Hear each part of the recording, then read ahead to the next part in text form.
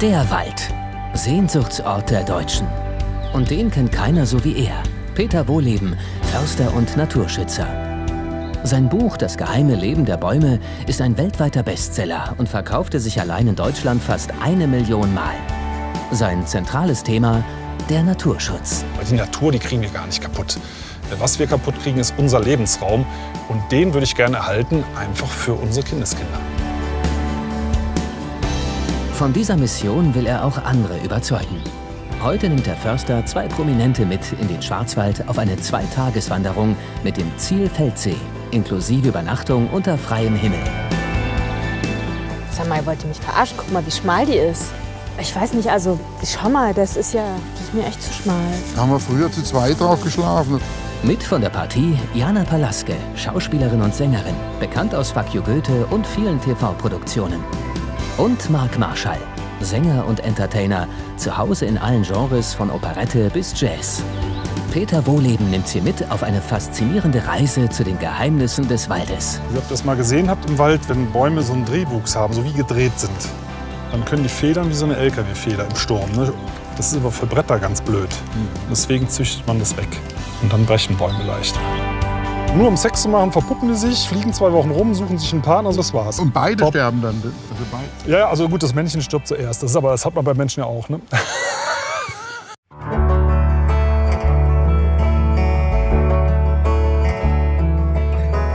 Peter Wohleben wollte schon als Kind Naturschützer werden und hat erkannt, dass Naturschutz Menschenschutz ist. Um dieses Ziel zu erreichen, gibt es für ihn ein ganz einfaches Rezept.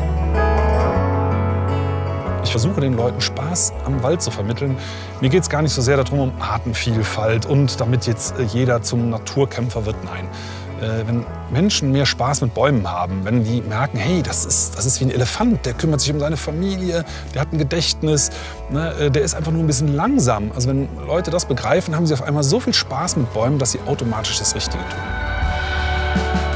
Aber auch Peter Wohleben musste für die Erkenntnis, mit Freude die Natur zu schützen, zunächst Lehrgeld zahlen. Denn es ging ihm nicht immer so gut wie heute. Vor ungefähr ähm, zehn Jahren, da hatte ich einen Burnout. Eigentlich sagt man heutzutage eine Erschöpfungsdepression, weil ich immer mehr Wald retten wollte. Und das geht natürlich gar nicht. Ich kann nicht den ganzen Wald retten. Und habe dann eben gelernt, bescheidener zu werden, auch in Bezug auf Umweltschutz und mit weniger zufrieden zu sein. Und mittlerweile ähm, ist das für mich in eine deutlich bessere Balance gekommen, dass ich sage, mir reicht ein kleiner Beitrag. Äh, und wenn es nur ein einzelner Baum ist, für den ich was tun konnte, Peter Wohleben ist überzeugt. Bäume sind Lebewesen und sie ähneln den Menschen. Dadurch geht er eine Bindung mit dem Wald ein, in der er automatisch mehr Verantwortung übernimmt. Bäume haben Gefühle. Also wenn zum Beispiel ein Borkenkäfer sich einbohrt, dann wandert ein elektrisches Signal durchs Gewebe. Der Baum leitet eine Abwehrreaktion ein. Der warnt seine Kumpels im Umfeld vor über Botenstoffe. Das ist Kommunikation, das ist Empfinden, ganz klar. Es ist langsamer, es ist andersartig, aber das heißt nicht, dass Bäume das nicht können. Der Naturschützer liebt seinen Wald. Und er möchte seine Begeisterung mit möglichst vielen Menschen teilen und ihnen das geheime Leben der Bäume erklären. Dafür begibt er sich heute auf eine Wanderung durch den Schwarzwald. Und zwar mit zwei prominenten Begleitern. Wir haben heute dabei Marc Marschall, den ich persönlich noch gar nicht richtig kenne. Sohn von Toni Marschall, macht Musik, ist sehr sozial engagiert, das weiß ich, das klingt gut. Aber ich lasse mich da völlig überraschen.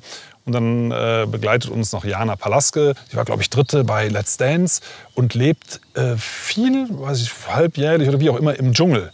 Im Dschungel, in, in einem Baumhaus, glaube ich. Also es ist eine Mischung mit ziemlichen Kontrasten, glaube ich. Seine Gäste befinden sich auf den letzten Metern vor dem Sprung ins Abenteuerwald, dem Hochschwarzwald.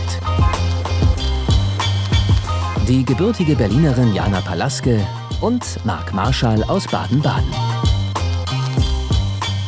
Ein bisschen neugierig bin ich schon, was da jetzt alles gleich passiert. Weißt du, was passiert? Mm, Wir gehen wandern durch den Wald und bauen uns dann eine Übernachtungsstelle und ein Feuer und machen uns was zu essen und so. Also, Das ist für mich Premiere. Ich, ich habe noch nie im Wald übernachtet. Echt? Noch nie. What? Ja. Wieso? ja. Es hat sich nicht ergeben. Du? Wow. Ja, ständig. Ich wohne ja eigentlich so zur Hälfte im Dschungel Und wo? in Asien. Also man nennt mich auch Momogli-Indianer. Also Jana, Indianer und dann Momo, die Mischung aus Momo und Mogli. Momogli-Indianer. Weil ich wirklich ständig in Bäumen kletter, hänge. Mein, Bau, mein Haus, in dem ich da im Dschungel wohne, ist so eine Art Baumhaus. Also ich habe schon immer mit Bäumen geredet. So. Ja, ich bin gespannt, ob ich heute Nacht schreien werde. Der ersten Nacht unter freiem Himmel. Der Naturpark Südschwarzwald ist Sommerwandergebiet, Wintersportregion und bekannt für sein exzellentes Höhenklima. Unsere Wanderung beginnt in Hinterzarten und endet am Fuß des Feldbergs mit einer Höhe von 1493 Metern. Der Hochschwarzwald befindet sich im Südwesten Baden-Württembergs in der Nähe von Freiburg. Zudem ist Hinterzarten Geburtsort der Olympiasieger und Skispringer Georg und Dieter Thoma. Oh, merci. Oh, riecht es gut. Hallo. Hallo, ich bin der Peter. Hallo, Jana. Freut mich super, dass wir uns kennenlernen. Mich auch. Eine Ehre. Peter, grüß dich, Peter. Marc. Freue mich sehr. Ja. Gutes Wetter habt ihr mitgebracht. Yay! Gucken wir mal, wo wir überhaupt gelandet sind. Ihr habt auch schon was Wow, wer mitgebracht. trägt das? Ja, ja, genau. Ja, das ist die gute Das ist alles Frage. für uns. Ich hatte gehofft, ihr tragt das. Also vorne, vorne ist der Feldberg und wir bewegen uns hier so in das Waldgebiet rein. Äh, gucken mal, wie weit wir kommen. Aber so halbe Strecke, würde ich mal sagen, heute. Wird auch kühl nachts, was gut ist. Da gibt nicht so viele Mücken. Ne? Gibt auch nicht so viel Zecken durch die Höhenlage. Ne? Auch schön. Das heißt, ich kann die kurzen Hosen anbehalten. ne? Ja, also sagen wir mal, in Bezug auf die Zecken würde ich jetzt nicht so das Problem sehen. Mit Brombeeren und Brennnesseln werden wir dich ab und zu mal ein bisschen schreien hören. Aber guck mal, wie zäh du bist. Naja, Wie sieht es bei dir aus, ausrüstungstechnisch? W- Was meinst du? So klamottenmäßig bist du auch. Ich guck mal, grad mit den, mit den Schuhen könnte es ein bisschen schwierig werden. Ne? Aber wir gucken einfach mal. Ja, ich weiß, also ich laufe immer mit denen. Also auch wenn ich wandere und kletter. Gehirn sind quasi angewachsen. ne? Ich habe gesagt, entweder bin ich barfuß oder Cowboy Boots. Für mich gibt es nichts anderes. Manchmal High Heels, Ja, ja. ganz selten. Aber nur für so eine, Ja, Stunde. Kurze Hose, Cowboy Boots. Okay, warum nicht? Aber wie steht's jetzt ums Essen? Kräftige Nahrung, wichtig für den langen Marsch. Würste dürfen da nicht fehlen, oder? Das ist die Wurst für den Peter. Hm, perfekt. Salami, Würste, Landjäger, Schnäpschen. Ich würde zum Abend super gerne Süßkartoffeln Ja. kochen. Die sind toll und Avocados sind auch super. Und, und den Rest, also nehmt einfach, was ihr für euch braucht. Also Also wir zwei können ja ein bisschen schieben. Ne? Ja. Also, weil kann dann- auch ein bisschen Quinoa kochen, wenn, wenn jemand anders es auch will. Statt Landjäger, Speck und Schnaps gibt es auf dieser Tour wohl eher Quinoa, Avocado und Kürbis.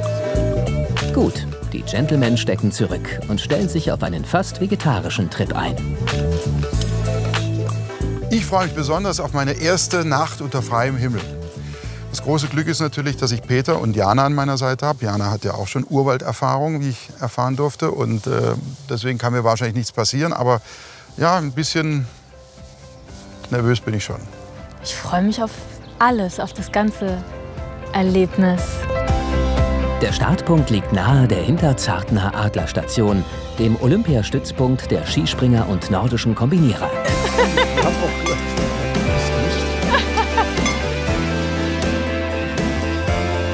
Und im vielleicht etwas speziellen Outdoor-Outfit, aber dafür mit viel gesunder Nahrung in den Rucksäcken, geht es heute bis zum Nachtlager unter freiem Himmel. Ist das nochmal? Das Essen ist Himbeere. Ach, das ist Himbeere?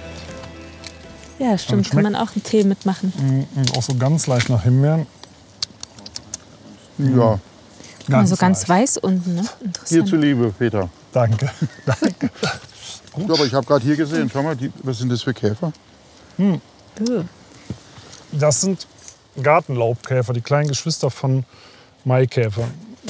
Also die leben nur zwei Wochen, um sich zu paaren. Aber ich finde eigentlich, so von der Sichtweise her ist es eigentlich blöd, die als Käfer zu bezeichnen, weil wenn die jetzt Eier gelegt haben, dann leben die Larven fast ein Jahr lang im Boden. Und das ist ja das eigentliche Tier. Das ist ihr Leben, ja. Genau, nur um Sex zu machen, verpuppen die sich, kommen raus, fliegen zwei Wochen rum, suchen sich einen Partner, so wie die zwei hier. Und die sind gerade happy und das war's. Und das ist das Leben zu Ende. Das ist übrigens auch ein schöner Schlusspunkt, oder? Ja, absolut. Also wenn man so abtreten kann, kann man sagen, alles richtig gemacht. Ja, und beide Top. sterben dann. Also bei, Ja, ja, also gut, das Weibchen, also gut, ich glaube, das Männchen stirbt zuerst. Das ist aber, das hat man bei Menschen ja auch, ne? Zumindest was die Statistik sagt. Auf jeden Fall.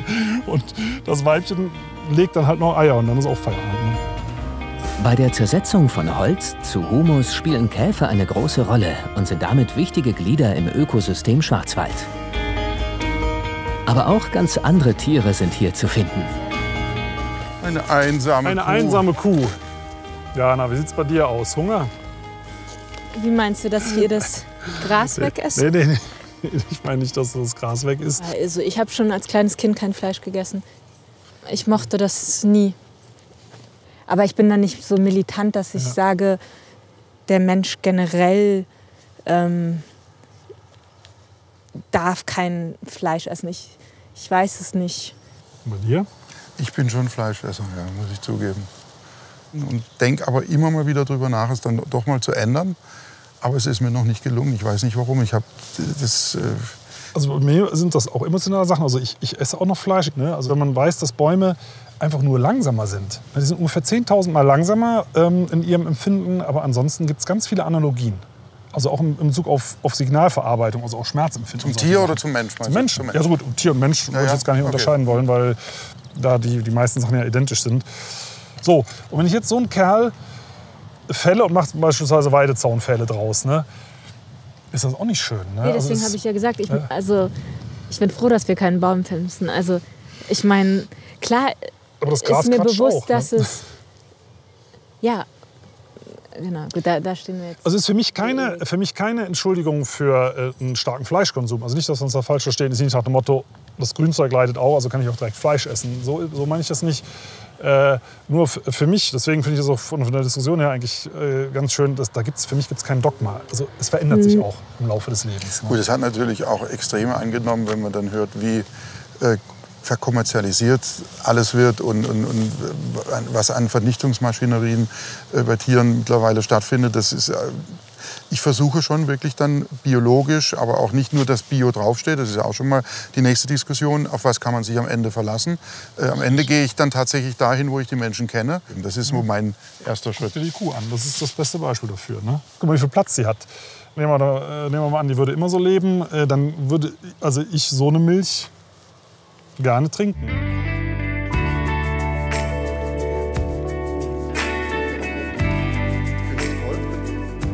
Die Wanderung führt weiter über offene Wiesen und Weideflächen hinein in den dichten Fichtenwald. Die Fichte hat hier die ursprünglichen Baumarten fast ganz verschwinden lassen. Die heimische Tanne wurde weitgehend zurückgedrängt und kommt nur noch vereinzelt vor. Und findet man so ein Prachtexemplar von Tanne, muss man einfach innehalten. Vor Freude und Ehrfurcht. Und eine richtig schöne, dicke Tanne. Und das ist eigentlich typisch für den Schwarzwald. Also für mich ist das wie, wie so ein Blauwal oder so. Schön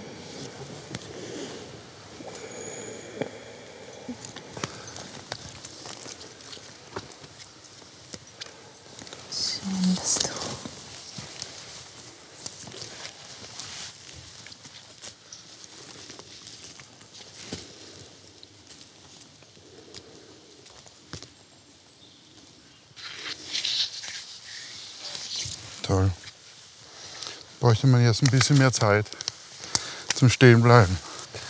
Bei der Gelegenheit mal eine Frage. Was ist denn eigentlich Wald? Gute Frage. Ha. Für mich war das als Kind in allererster Linie Freiheit, Natur, keine, keine Zivilisation. Und ist die Zelle natürlich unseres Lebens wahrscheinlich, die Sauerstoff. Äh, interessanterweise noch nicht mal so. Ne, meint man immer, ne? Ähm, zum Beispiel im Winter verbrauchen die Bäume Sauerstoff und produzieren nur CO2. Und das ist ja immerhin, je nach Baumart, bis zu sechs Monate. Ne? Äh, also der Großteil vom Sauerstoff kommt aus dem Meer. Klar, ich sehe es zum Beispiel immer von der ökologischen Seite, ne, wo ich sage, dieses Ökosystem, das ist so super vielschichtig. Ähm, wir gucken ja immer nur auf die Bäume. Ist so, ne, wenn du Wald besuchst, ne, guckst, das sagst so, das ist Wald. Aber das ist hier, in dem Fall ist das eine Art, nämlich Fichte. Gut, da sind auch Tannen und ein bisschen Buchen und Ahorn das drin, aber Ähm, das sind wenige Arten und du hast zum Beispiel an Hornmilben im Boden. Also, kennt ihr die Hornmilben? Es über 600 Arten, also sind noch gar nicht alle erforscht. Also mehr als es Vogelarten gibt in Europa. Äh, aber da guckt kein Mensch hin. Ne?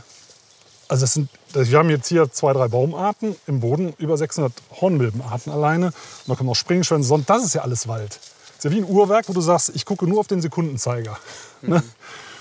Und sagst, Moment, aber das sind noch ein paar andere Zahnräder. Und äh, deswegen denken wir auch, wir können Wald leicht ersetzen, indem wir halt wieder was hinbringen. Ne? Aber du musst da, also in, einem, in unserem heimischen Waldsystem, Buchen-Urwald, ähm, sind alleine rund 10.000 Tierarten daran beteiligt. Und ganz viele noch nicht entdeckt. Also wir haben, ich habe mit einer Insektenforscherin geredet, die sagt, das ist echt traurig. Es kann in Deutschland kaum noch jemand Arten taxieren und dementsprechend auch neue Arten entdecken. Und das, ist, das sind quasi unsere tropischen Regenwälder, aber man guckt da halt nicht hin. Was ich, was ich interessant finde, wenn man so ein Gedankenexperiment hat, man würde sich mal auf die Insel Borneo versetzen, in 300 Jahren. Und dann stehen halt überall Ölpalmen. Ne? Und die Leute sagen, okay, für jede Ölpalme, die wir abpacken, pflanzen wir eine neue. Ist das dann Wald? Das ist die Frage. Ne? Ist, man würde sagen, hey Freunde, hier war früher Regenwald, das ist doch kein Wald. Ne? Und in, in einer ähnlichen Situation sind wir jetzt in Deutschland. Das sagen uns ausländische Fachbesucher auch oft. Also wir haben mal den Forstchef aus dem Iran da. Ayatollah Monteseri. Und da denkt man immer direkt, oh, Atomprogramm äh, und so weiter und so weiter. Äh, die haben dort die letzten richtig großen Buchenurwälder der Erde. Die sind in Nordiran, die werden da super geschützt. Und der hat sich dann Deutschland, die Schweiz und Österreich angeschaut. War auch bei mir im Revier und hat dann, ähm, haben wir über Wald geredet und sagt, der Wald, was für Wald, hier ist doch gar keiner. Das ist, für ihn sind das alles Plantagen. Ja, also warum habt ihr keine richtigen Wälder, so wie wir? Das, wirklich, das hat er dann wirklich gestellt, die Frage. Und das ist natürlich dann schon ein bisschen peinlich, da man dann, okay. Also für mich hat das eine moralische Komponente, dass wir sagen, wir haben in Deutschland zum Beispiel nur noch drei Promille alte Buchenwälder. Und, also Waldanteil. Und Brasilien hat noch ungefähr 80 Prozent der äh, ursprünglichen Regenwälder. Und dort, da sagen wir immer, nicht mehr dran gehen. Und bei uns fällt es unheimlich schwer zu sagen, komm, lassen wir mal ein paar Prozent in Ruhe. Geht ja nur um ein paar Prozent. Ne? Aber da kann man was dran machen. Und wenn man was dran machen kann, muss man dann, wenn man Menschen davon überzeugen muss, denen einen Nutzen davon erklären. Also ich muss ja, wenn man was machen will, braucht man ja Menschen, die das dann, die diesen Gedanken dann vermehren. Genau. Und da gibt es zwei Wege. Das eine ist natürlich über Geld, ne, dass man sagt, man, das machen wir auch, dass wir sagen, wir, wir pachten Wald von Waldbesitzern äh, für Jahrzehnte, um dort nichts mehr zu machen. Das ist so eine, so eine, so eine Art Sponsoring-Projekt. Aber das, was mir noch viel lieber wäre, äh, und das sagte zum Beispiel der iranische Forstchef, ne, sagte, hier geht es immer nur um Geld. Warum, ne, warum macht man das nicht einfach so? Weil das ist ja stillgelegt, stilllegen kann man ja im Wald nicht. Man sägt nur nichts mehr ab. Aber man kann ihn ja weiter nutzen, ne, so wie wir das jetzt heute machen. Es gibt, es gibt so viel Freude, so viel, so viel Energie. Äh, das spielt gesundheitlich ja immer eine größere Rolle. Ne? Dieses, äh, was jetzt über das Waldbaden und äh, Therapiedinge, die da kommen. Äh, aber auch einfach nur so Entspannung, das sind ja alles Werte. Ne? Und wenn man jetzt mal an afrikanische Elefanten denkt, da geht es ja auch nicht um Geld. Ne? Man einfach sagt, die müssen erhalten bleiben. Ne? So, das, da finde ich, müssen wir hinkommen. Das ist aber noch ein langer Weg in Deutschland. Inzwischen gibt es in ganz Europa den Versuch, ausgewählte Waldstücke komplett in Ruhe zu lassen, damit sich hier über die Jahrhunderte wieder ein ursprünglicher Wald quasi aus sich selbst heraus entwickeln kann. Auch der Hochschwarzwald ist in Teilen ein solcher Wald, der sogenannte Bannwald, den unsere Wanderer noch durchlaufen werden. Vorsicht, ein paar Brombeeren. So, jetzt wird es für die kurzen Hosen schön. Aber unsere beiden Mitwanderer sind hart im Nehmen. Hier gilt Augen zu und durch. Das nächste Hindernis kommt bestimmt. Mal sehen, wo die Ameisen überall hinkrabbeln. Schon macht die Hand da so draufgelegt. Nee. Auch nicht? Ja, machen die. So, aber, aber nur so, nur, also ich würde es nur so machen. So, so ein bisschen. So.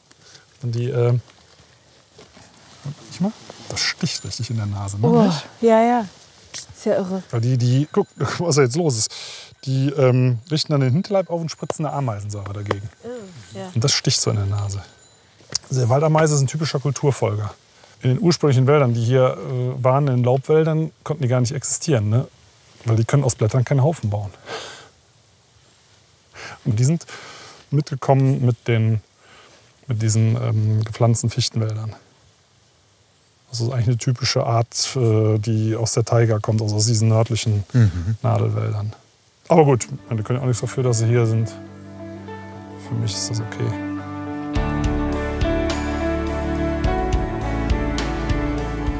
Das Team um Peter Wohleben genießt die letzten Meter entlang des Bachlaufs hinab zum Lagerplatz.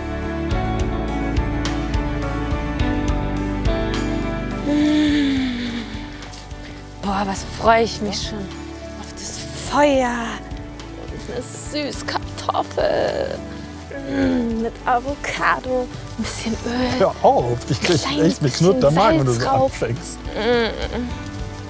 Und dann schlafen. So, das sieht doch ganz gut zum Wasser holen aus. Ja. Wo man ein bisschen aufpassen sollte, also Oberlauf, wenn es irgendwie geht, keine Viehweide, ne, wo gegüllt oder sonst was ist. Ja, jetzt hier oberhalb ist ein Weiher und da ist Wald, also es sollte eigentlich okay sein. Also wenn wir es jetzt genau prüfen wollten, könnte, müsste man die Steine umdrehen und gucken, ob da Steinfliegenlarven drunter sind oder Salamanderlarven in, in, in so den, weil die brauchen super sauberes Wasser. Aber ich würde sagen, auch die Schaumbildung ist unbedenklich und natürlich. Algen- und Huminsäure des Moorsees bilden diese Bläschen. So, fette Beute. genau, halte ich nicht fest, du fällst mit rein. Danke. Oh, Achtung. Ich weiß aber zu schätzen. Der Lagerplatz ist nicht mehr weit entfernt. Und nur hier darf Feuer gemacht werden. Das ist im leicht entflammbaren Nadelwald sonst verboten. So, Etappenziel erreicht. Ach, echt? Bravo! Jabbe, jabbe, du. Ah. Kann sich sogar setzen. Nice. Ach ja.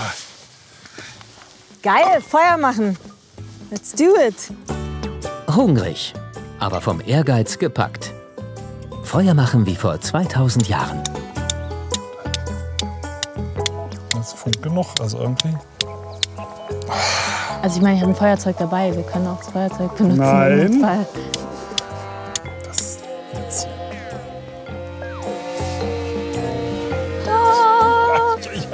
Jawohl. Herrlich. Das ist hart verdientes Feuer. Ja, yeah, Baby. Ja, Mann.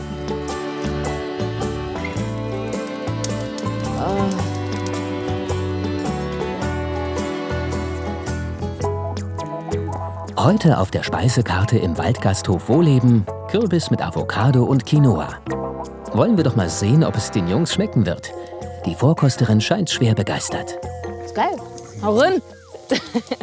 Das Quinoa-Buffet ist offiziell eröffnet. Crunchy. Wunderbar. Geil, oder? Wunderbar. Das, ist, das, das würde als Haute Cuisine verkauft werden in manchen Orten. Lightly charbroiled Quinoa, cooked with spring water. Oh ja. Sagt dir in LA würdest du dafür 50 Dollar zahlen. Zu Recht. Zu Recht, ne? Janas vegetarisches Superfood kommt auch bei Peter und Marc gut an. Wenn hier jemand leichte Bauchschmerzen hat, dann haben die ganz andere Ursachen. Da es ja meine erste Nacht unter freiem Himmel ist, im Wald, gibt es irgendwas, was ich beachten muss? Oder was. Äh also, wie gesagt, wir die Erfahrenen. Wenn du Fleisch isst, wenn ein Wildschwein vorbeikommt, festhalten. Okay, ein bisschen Obelix ist ja auch in mir drin.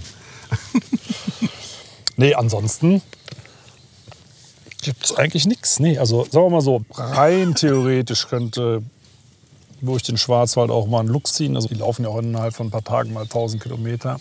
Das ist ja hier keine Entfernung. Ne? Also, aber selbst das, aber das ist was Schönes. Ne? Also wenn wir das, das werden wir natürlich im Leben nicht sehen, weil wenn der äh, irgendwo merkt, hier ist jemand, dann haut der ab. Ne? Also es gibt im Wald nachts überhaupt nichts Gefährliches. Das beruhigt mich doch total.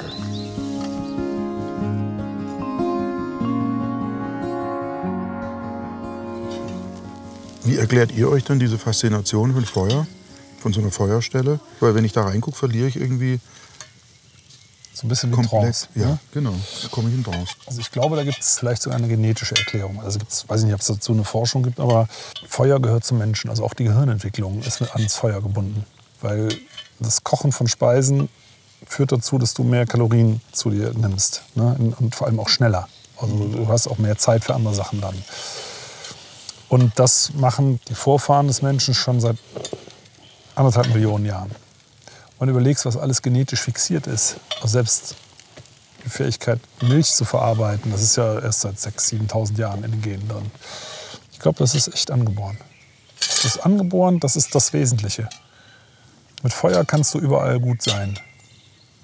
Und das, das ist so, dann ist alles also gut. gibt eine Sicherheit, meinst du? Es gibt Sicherheit, also auch sagen wir mal, vor äh, Raubtieren. Du warst, ne, warst du sicher. Du hast auch Macht gehabt. Also wer Feuer hat, hat auch Macht. Du kannst hier, mal, wenn du sagst, ich brauche eine Weidefläche und brennst einfach den Wald ab. Das ist Macht. Ne? Das ist elementar. Ne?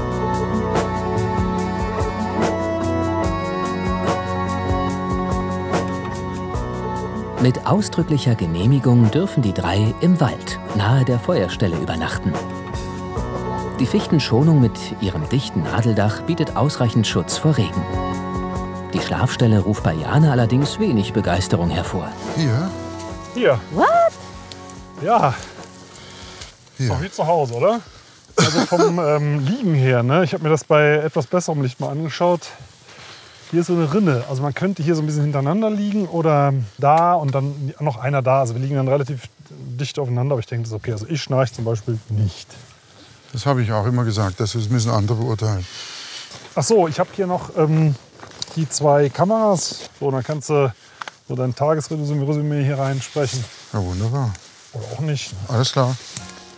Sag mal, ihr wollt ihr mich verarschen? Guck mal, wie schmal die ist. Ich weiß nicht, also schau mal, das ist ja, das ist echt, das ist mir echt zu schmal. Da haben wir früher zu zweit drauf geschlafen. Während Marc Marschall und Peter Wohleben ihr Nachtquartier schnell finden, muss sich Jana Palaske erstmal mit den Gegebenheiten arrangieren. Aber auch das funktioniert.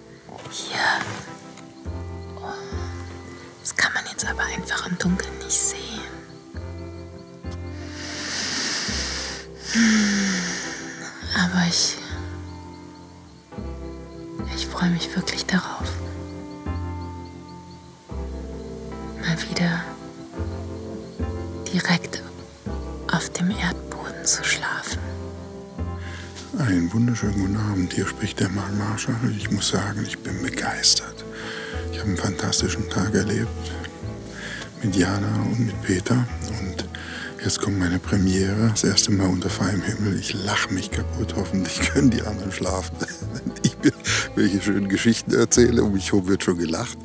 So soll es sein. Guten Abend, guten Abend. Ich kann. Also, ich freue mich auf morgen früh. Ich werde berichten. Ich mache jetzt das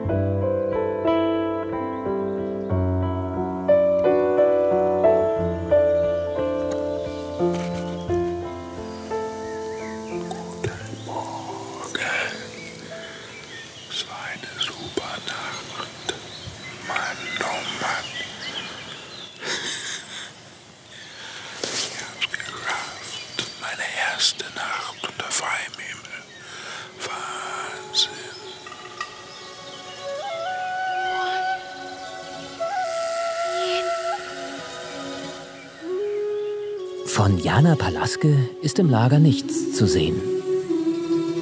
Die Frühaufsteherin begrüßt den neuen Tag auf ihre ganz eigene Art.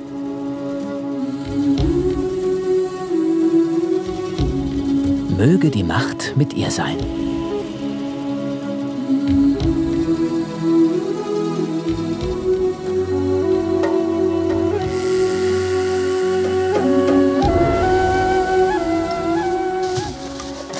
Peter, Peter. Ja, Guck mal. Da ist sie. hab schon gedacht, der hätte einen Lux mitgenommen. Ja.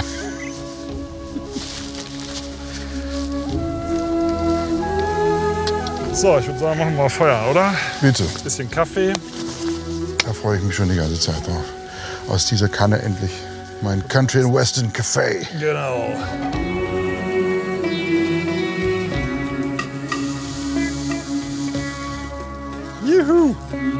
Das Frühstück am Lagerfeuer. Reine Männersache? Natürlich nicht. Morgen. Morgen. Guten Morgen. Na, wo warst du denn? Ja. Wir haben uns Sorgen gemacht. Du warst ja plötzlich mitten in der Nacht weg. Nee, als so, sobald es hell geworden ist. Ja? Hat dich jemand vertrieben?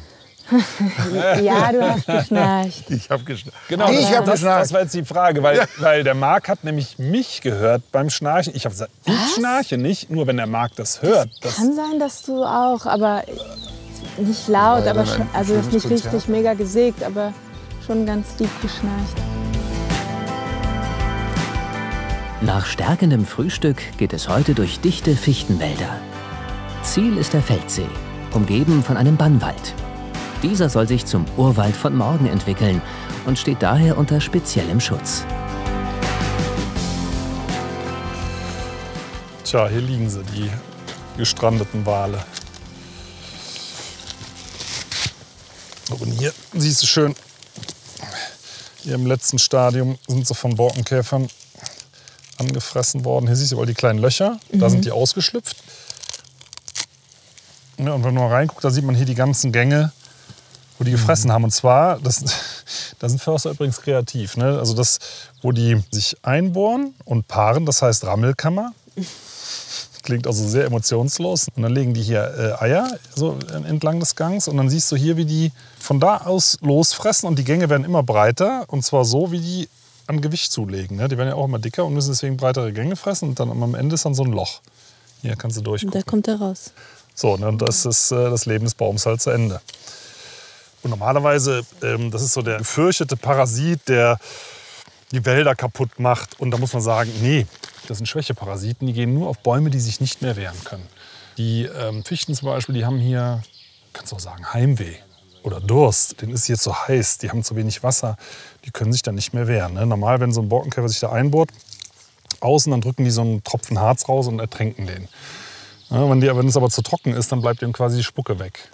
Das ist überhaupt diese, diese, diese Einteilung der Natur in Nützlinge und Schädlinge, das ist total aus, aus menschlicher Sicht. Ne? Also es kommt von dem Gedanken, dass man sich Natur vorstellt wie ein Uhrwerk.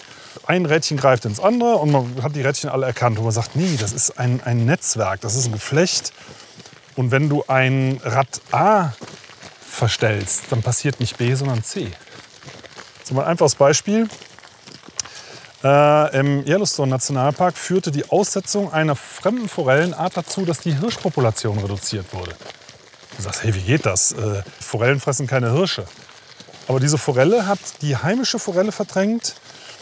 Und die heimische Forelle war eher im flacheren Wasser und die Bären konnten die da fangen. So, und diese fremde Forelle, die hat die heimischen verdrängt, ist im tieferen Wasser unterwegs. Da kommen die Bären nicht dran und deswegen reißen die jetzt in ihrer Not Hirschkälber. Also haben Angler, die dort einfach nur Fische zum Angeln aussetzen wollten, dafür gesorgt, dass die Hirsche dort weniger werden. So, also und dann zu sagen, wir managen Ökosysteme, um die in eine bestimmte Richtung zu bringen, muss man sagen, setzen sechs. Das geht überhaupt nicht. Also du kannst Natur nur schützen, indem du zuguckst. Was im Übrigen sehr entspannend ist. ne? Also Hände in die Hosentaschen und sagen, so, ich mache jetzt Naturschutz. Also du kannst wirklich Naturschutz nur so machen. Das ist eigentlich total befreiend, ne? oder? Der Nadelwald im Naturpark Südschwarzwald. Eine von Menschenhand geschaffene Fichtenplantage. Und dennoch wunderschön, naturnah und heilend. Ein Ort für Inspiration, Kunst und Sehnsucht. Herrlich mit dem Moos. Das ist ja Wahnsinn. Das ist herrlich. Guck mal, das ist doch ein wunderschöner Ort, ne? Uff. Hier, guck mal, du kannst dich hier hinschmeißen, wo du willst, ist es gut. Man sich an so einem Ort befindet, dann kann man so ungefähr nachempfinden, was die im 19. Jahrhundert die großen Dichter und Denker empfunden haben, wenn die durch die Natur sind und das abgebildet haben in ihren Gedichten. So Heine, Eichendorff, Goethe. Ja. Unglaublich. Du hast mal erzählt, dass du vor, vor Bäumen gesungen hast. Ja, wenn ich zu Hause geübt habe während dem Studium, dann haben meine Kinder immer gesagt, Papa, schrei nicht so. Und dann bin ich raus in den Baden-Badener Stadtwald und habe dann versucht, wenn ich mir dann einen Baum besonders ausgesucht habe, für den zu singen und mit dem eine Verbindung aufzubauen. Und so habe ich versucht, die Tragfähigkeit meiner Stimme auch tatsächlich zu spüren. Und würdest du auch für diese Bäume singen?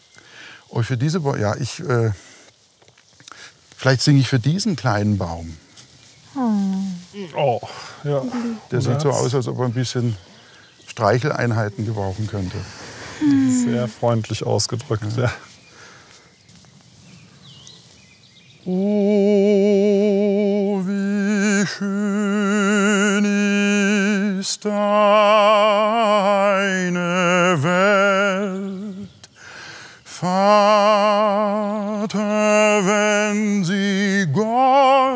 strahlet,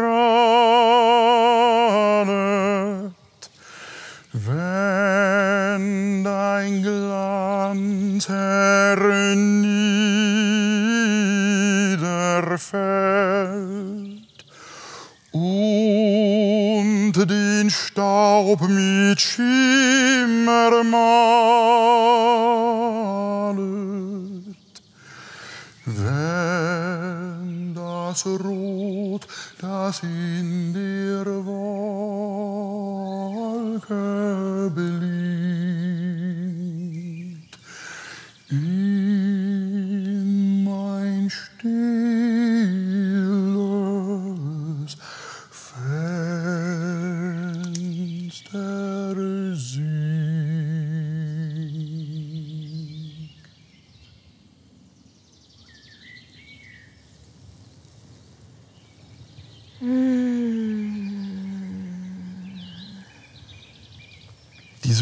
geht auch ein bisschen verloren. Und gerade diese Zeit der Romantiker, wie die Dinge ausgedrückt haben, mit welcher Blumigkeit und man, wie, diese Bilder, die da gezeichnet wurden, die haben wirklich auch, nehme ich mal an, die Dinge ganz anders wahrgenommen und deswegen auch anders beschrieben. Ja, das ist ja was, wo ich oft drüber spreche, dass Deutschland eigentlich mal viel näher war an Spiritualität. Aber dass das irgendwo verloren gegangen ist und das Esoterik ein Schimpfwort ist. Weil eigentlich hat es jeder schon mal erlebt. Klar. Also den sechsten, den siebten Sinn, die An Intuition, Bauchgefühl. Und deswegen freue ich mich eben über so Leute wie Peter, die irgendwie einen, einen Zugang zu den Menschen Aber ist es nicht, entschuldige, wenn ich dich jetzt unterbrechen Nee. muss, äh, wie erreichen wir, dass der einfache Mensch da einen Zugang findet? Für die alles, was wir hier reden, sind es Fremdworte, die haben überhaupt keinen Zugang zu dem, die sagen dann eher, die spinnen alle, die legen sich da in den Wald, die sind ja verrückt. Äh, Der eine fängt dann an plötzlich zu singen, der andere umarmt Bäume. Und ich glaube, dass genau die Gedanken von dir unglaublich hilfreich wären für ganz viele Menschen.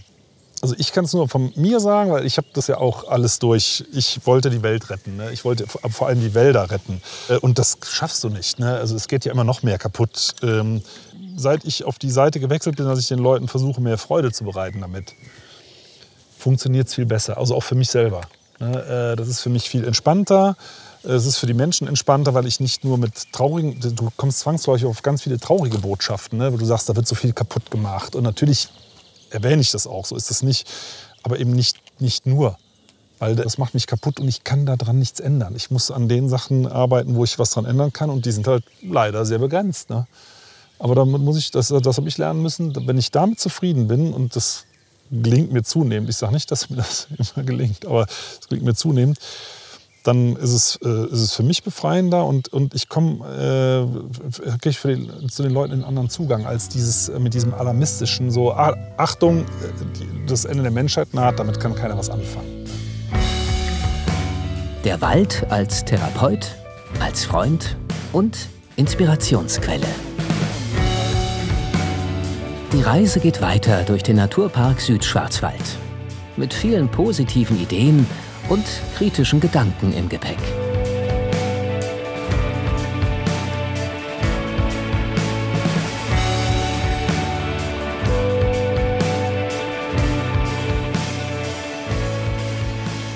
Oh Mann. Ja. Gott, die Armbäume. Die hat's gerissen. War doch im Januar so ein schwerer Sturm. Hier, die sind richtig abgebrochen. Was es für eine Gewalt ist. Ne? Also, da zerrt an so einem Stammfuß unten ist es ein Gewicht bis zu 100 Tonnen. Sie halten ja irre was aus, ne? aber das war zu viel. Krass. Und man sagen muss, diese gepflanzten Bäume, die halten auch nicht mehr so viel aus. Also, ob ihr das mal gesehen habt im Wald, wenn, wenn Bäume so, so einen Drehwuchs haben, so wie gedreht sind. Und das hatten früher alle Bäume. Dann können die federn wie so eine LKW-Feder im Sturm, ne? ohne zu brechen. Das ist aber für Bretter ganz blöd. Wenn du Bretter draus sägst und die trocknest du, dann drehen die sich auch so. Und deswegen züchtet man das weg. Und dann brechen Bäume leichter. Im 18. Jahrhundert gab es noch einen intakten Wald aus überwiegend Tannen und Buchen mit einem geringen Anteil an Fichten. Nach der Rodungsphase dieser Zeit pflanzte man die dichten Fichtenwälder an, die den Schwarzen Wald heute charakterisieren. Jurassic Park. Ja, das stimmt. So ein bisschen was hat das hier. Ne? Und zwar in jeder Hinsicht. Und zwar Jurassic Park Folge 2. Nämlich hier ist, äh, wir stehen jetzt in den Ruinen von einem alten Bauernhof. Guck mal hier, guck mal, da vorne geht's schon los. Die Mauern, Mauern. Mauern, Mauern.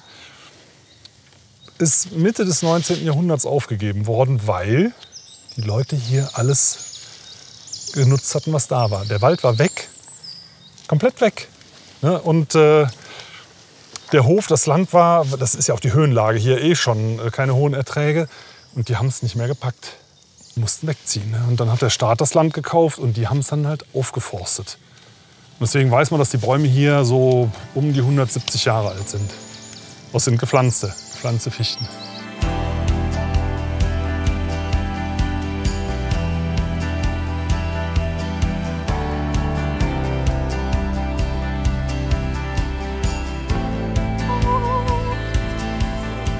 Die Reise durch den Hochschwarzwald neigt sich dem Ende zu. Das Ziel dicht vor Augen. Der Feldberg mit dem Feldsee, dem dunklen Auge des Schwarzwaldes. Peter, vielen Dank für diese zwei Tage. Ist ja unglaublich. Der Feldsee. Wow. Der 32 Meter tiefe See ist in den letzten Eiszeiten entstanden. Geschafft. Herrlich. Juhu. Ja. Ey. Kommt nicht zurück. Ja, ja, ja. Doch. Ja, von hinter dir. hinten. Dieser der, dieser der. Ah. Zwei Tage Südschwarzwald. Jana Palaske und Marc Marschall sind schwer beeindruckt. Also ich will jetzt nicht übertreiben, aber es hat schon etwas mit mir gemacht, was mich die nächsten Tage, Wochen, Monate, vielleicht sogar darüber hinaus beschäftigen wird. Es hat viel in mir ausgelöst. Ich hatte immer das Gefühl, ich kenne mich ein bisschen aus. Ich habe kennenlernen müssen, dass ich gar nichts weiß über den Wald und die Zusammenstellung unserer Natur, unserer Umgebung.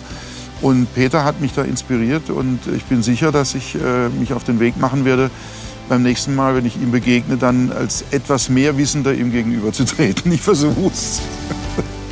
Es ist total schön und ich kann jedem empfehlen, einen Nachmittag oder auch nur eine Stunde oder einen Tag in den Wald zu gehen oder auch nur einmal zu übernachten. Aber die Natur ist so heilsam, in die Natur zu gehen, hilft einfach immer, die Perspektive zu wechseln.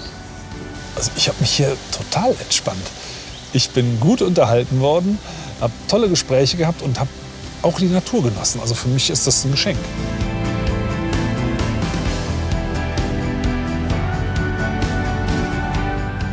Peter, ich bin begeistert. Ich bin dankbar für diese zwei Tage. Wirklich. Ja, jetzt geht's eigentlich, kann es erst richtig losgehen. Nächstes Ja, Mal machen wir jetzt eine hat er uns Woche. richtig vorbereitet. Ja, jetzt Ja, jetzt kommt man ja erst rein in den Groove. Ja, also Deutschland hat schon schöne Eckchen, ne?